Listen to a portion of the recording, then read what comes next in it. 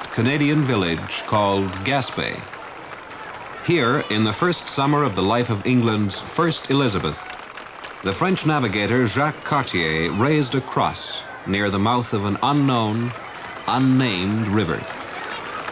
He went back to France thinking he had discovered a passage to the Orient, and a year later he returned to the river on the day of the Feast of St. Lawrence.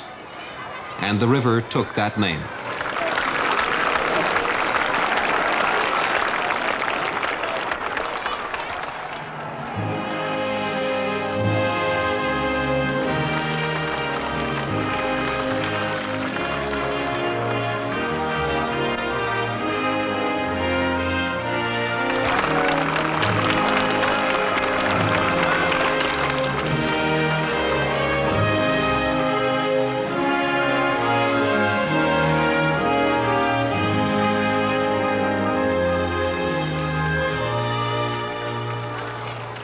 More than four centuries later, the second Elizabeth, Queen of Canada, begins a voyage which marks the fulfillment of a dream that has run as deeply through Canada's history as the River St. Lawrence itself. The dream of the St. Lawrence as a road to the riches of a vast new continent.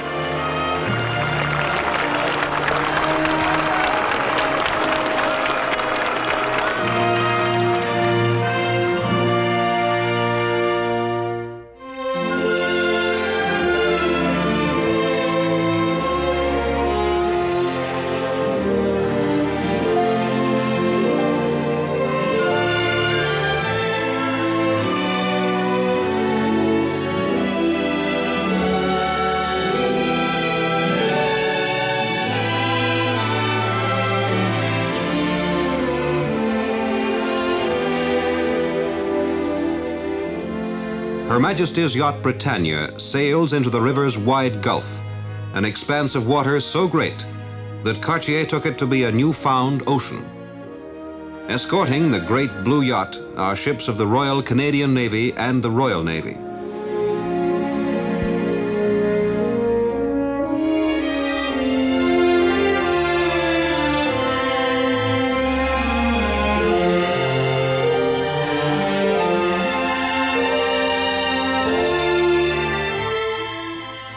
Most of the world's great rivers grow gradually from a hundred streams, but the St. Lawrence springs full flood from the Great Lakes, flowing from Minnesota 2,500 miles to Belle Isle at the Atlantic Portal, sliding and plunging three times the height of Niagara in its course to tidewater.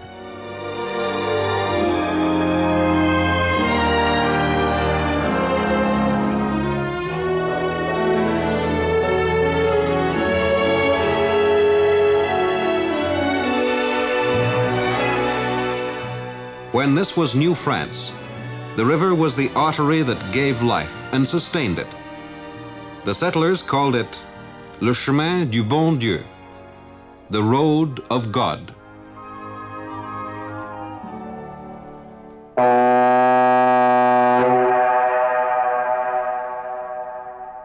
The Saguenay River pierces the forbidding north shore of the lower St. Lawrence opening a country rich in pulpwood, minerals, and power. Beneath ancient rock ramparts, Britannia's whistle awakes the Saguenay's famous echoes.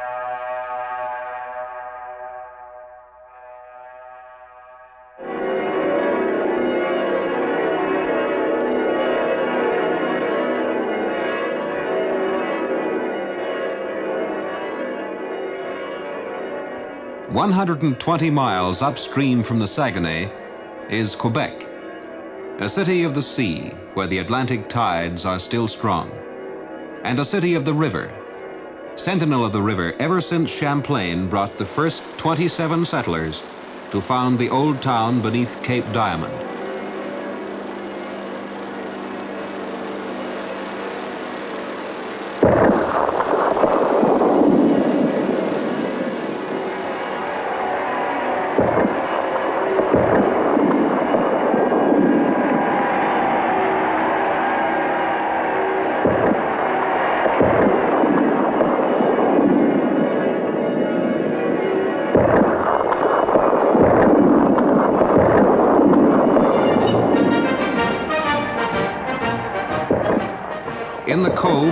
Wolfe's redcoats and Highlanders scaled the heights on a moonless, misty September night in 1759, the Britannia's royal passengers are met by the premier of the province and other officials of the ancient capital.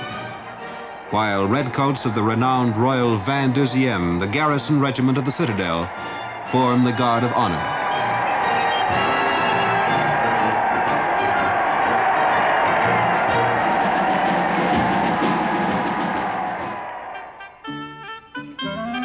I never saw anything more superb than the position of this town, wrote Le Comte de Frontenac in 1672. But the Quebec of narrow streets, old city walls, and memorials of brave days is in a way deceptive.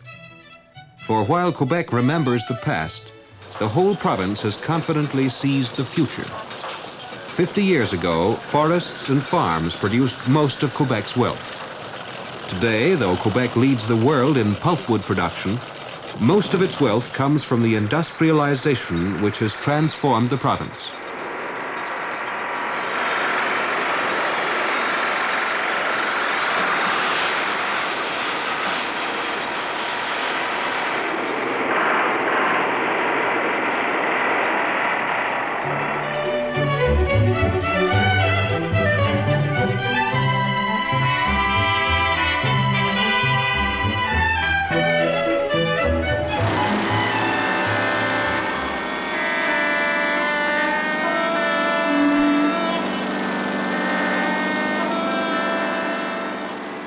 In 1684, Le Baron de Lahontan sailed from Quebec to Montreal.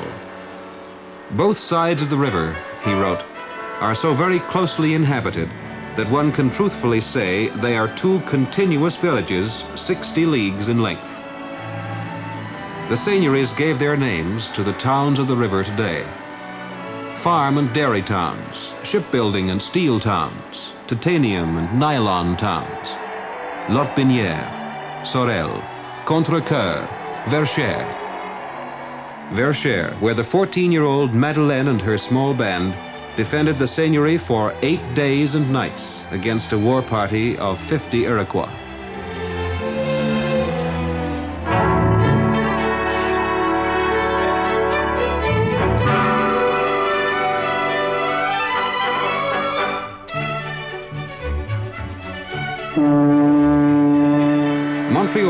As far as early ships could go on the broad and level Chemin du Bon Dieu.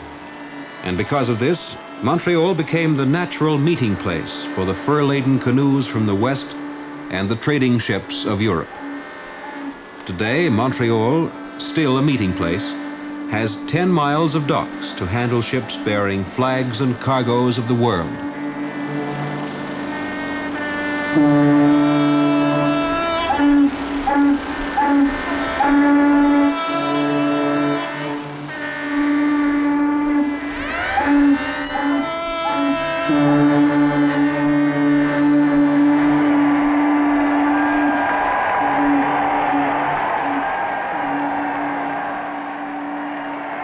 This has been the gateway to their new land for millions of Canadians. And where the Britannia docks, hundreds of immigrant ships have berthed with new subjects for the Queen.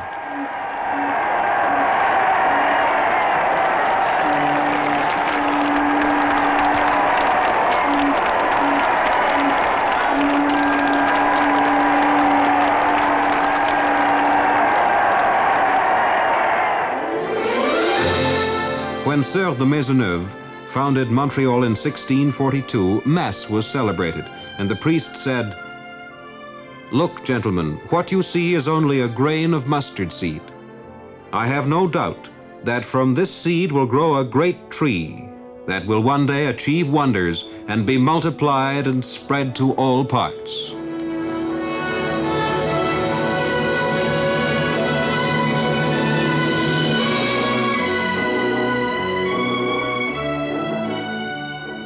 The furs of the voyageurs gave way to timber for the fleets of Britain. Timber gave way to steel and rails, cotton and plastics, rubber and pharmaceuticals, sugar and beer and aircraft.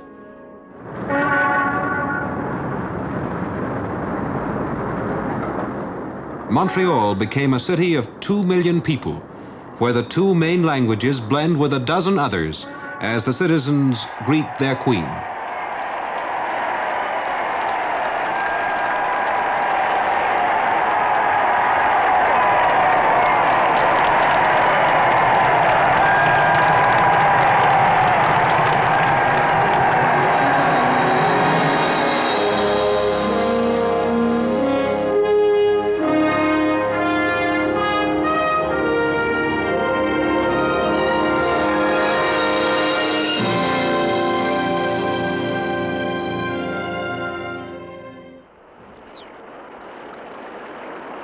Montreal, the waters of the St. Lawrence are torn by rapids. And for centuries, travelers have struggled to pass them in canoes and then in small ships through small canals. The latest conquest of those rapids will take the Britannia beneath the bridge named after Jacques Cartier to travel a route that has opened the Great Lakes for most of the world's deep sea ships. The Britannia 25 times as large as Cartier's three ships combined.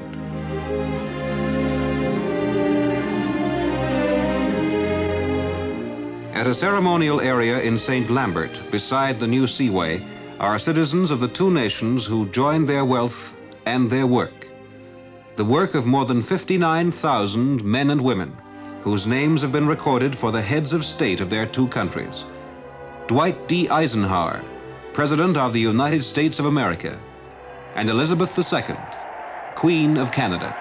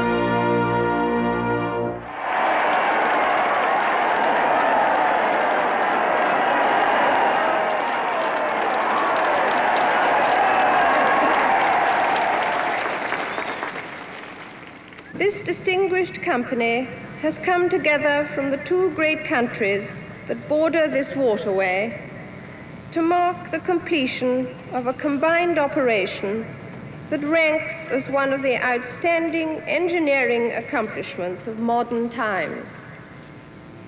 We can say in truth that this occasion deserves a place in history. It is above all magnificent symbol to the entire world of the achievements possible to democratic nations peacefully working together for the common good.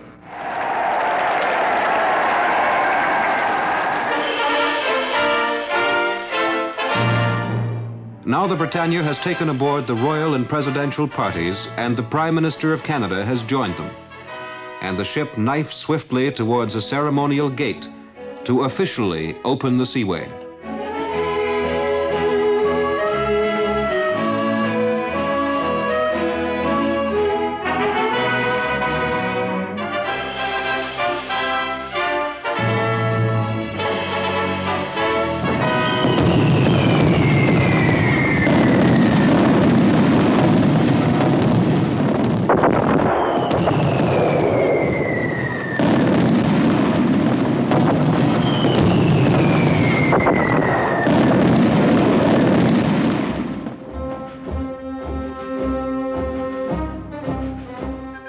Of the St. Lawrence's bridges had to be rebuilt to accommodate the tall ocean ships.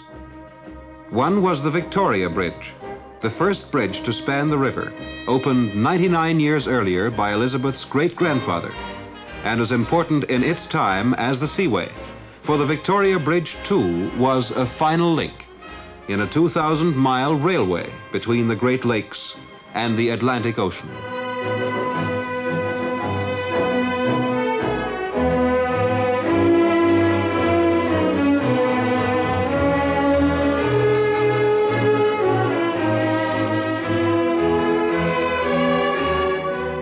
The St. Lambert Lock lifts the Britannia 15 feet into the La Prairie Basin Channel.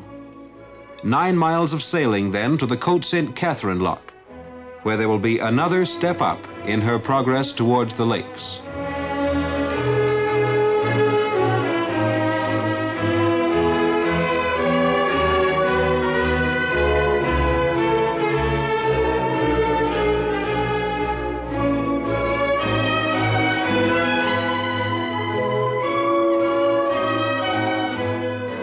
Canal building near Montreal had been tried as early as 1680, the first waterway to bypass the feared Lachine Rapids was not completed until 1825.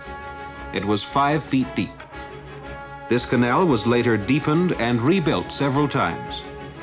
Using this old channel, a ship would take four and a half hours to pass the five locks between Montreal and Lake St. Louis.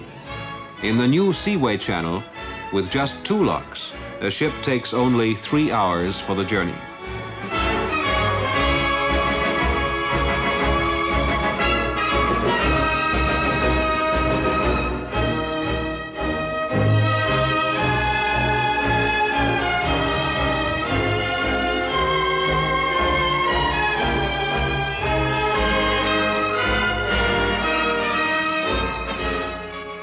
In the Côte St. Catherine Lock, the Britannia is lifted 31 feet and sails out past welcoming Caughnawaga Indians, Mohawks who were early allies of the French and later of the British.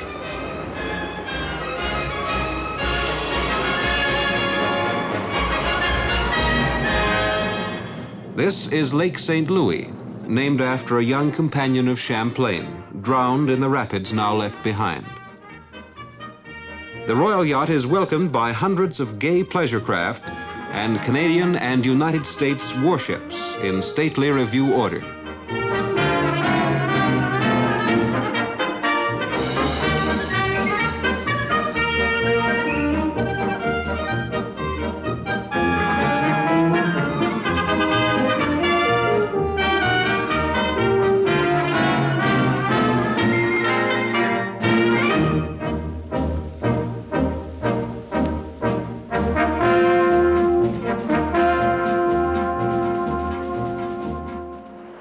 The head of Lake St. Louis is another set of rapids. The Cascades, Split Rock, Cedar, and Coteau. Here the royal travelers get the first sight of the dual purpose of the Seaway. For it is a power project as well as a ship channel. When the mighty Beauharnois power development was built 30 years ago, it was designed to be incorporated into a future seaway. Beside the power dam, the new Beauharnois locks lift the Britannia 84 feet to the canal, which also serves Beauharnois' turbines.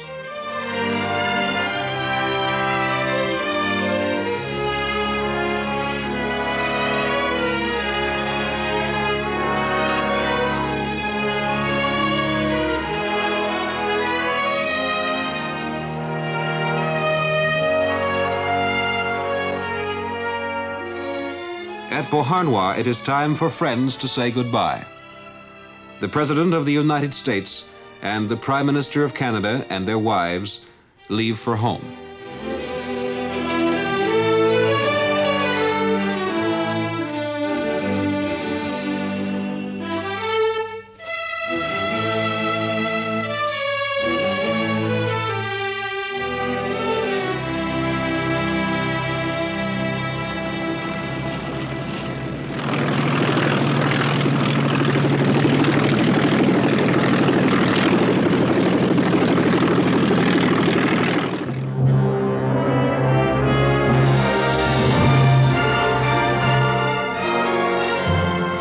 Until now, both shores of the Seaway have been Canadian, and the channels, bridges, and locks were built by Canada.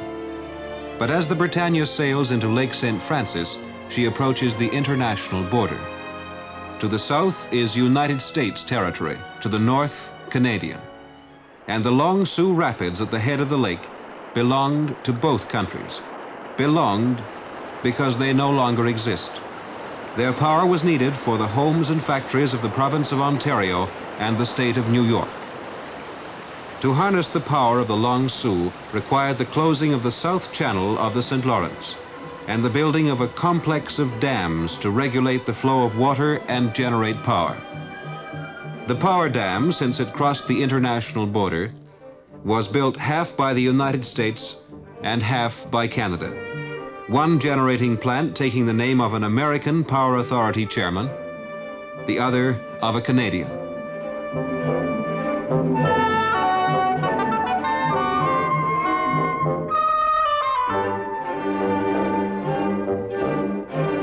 From the 32 generators of the power dam, 16 for each country, comes enough electricity to supply all the needs of four cities the size of Toronto.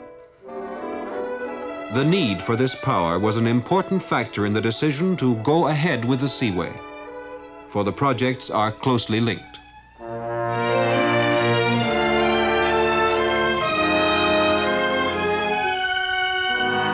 Now the Britannia moves forward again, leaving the Eisenhower Lock to sail out into man-made Lake St. Lawrence. And on shore, another ceremony for the Queen.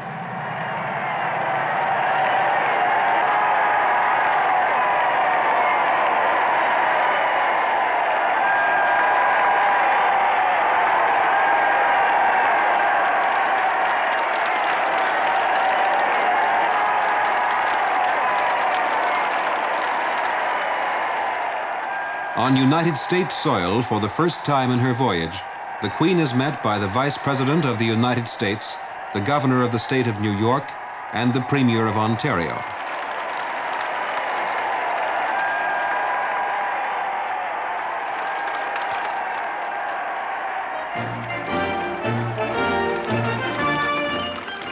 Among the thousands of both nations who have come to greet the Queen are people from the 500 farms and half dozen villages that were submerged when the river was dammed and the new Lake St. Lawrence was created. On the banks of the new lake, new towns have been built for them. Long Sault, Ingleside, and a new Iroquois.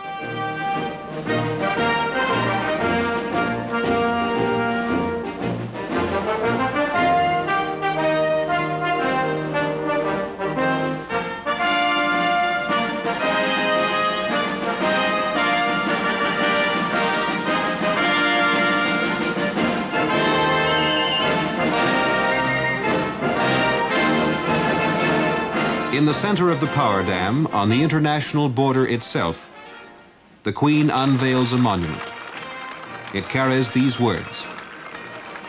This stone bears witness to the common purpose of two nations, whose frontiers are the frontiers of friendship, whose ways are the ways of freedom, whose works are the works of peace. The Britannia, a ship from the ocean, is climbing towards the Great Lakes.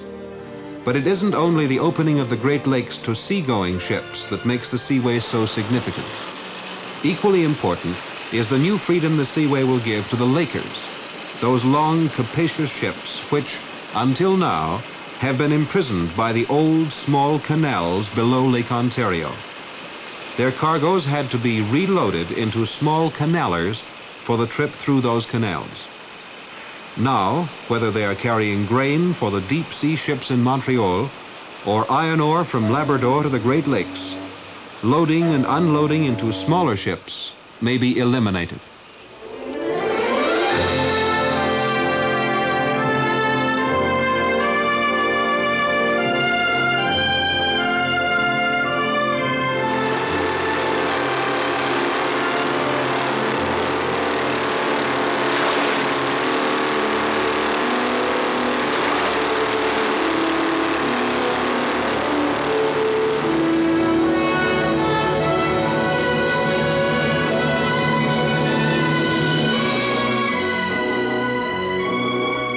Under the Ivy Lea Bridge, through the sparkling net of the Thousand Islands, beyond the last of the rapids, the Britannia sails, herald of a new age of shipping.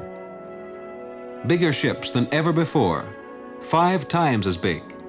More goods than ever before, five times as much, will follow her. And the passage will be 12 hours faster than through the old canal system.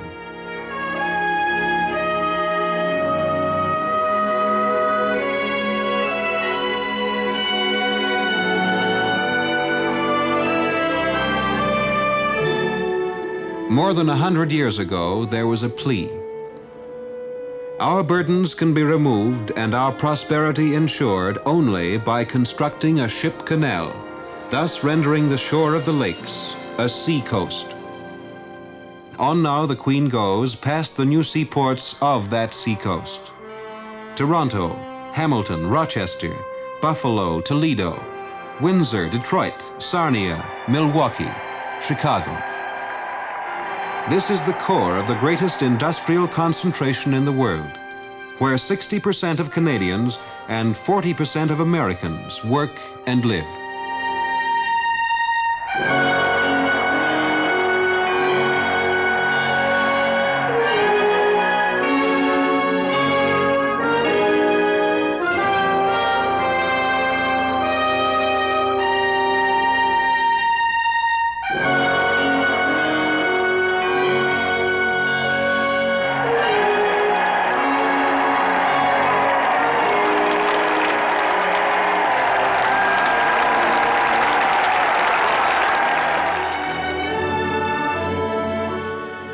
Beyond the industrial heart is the goal of the voyage, the head of the lakes.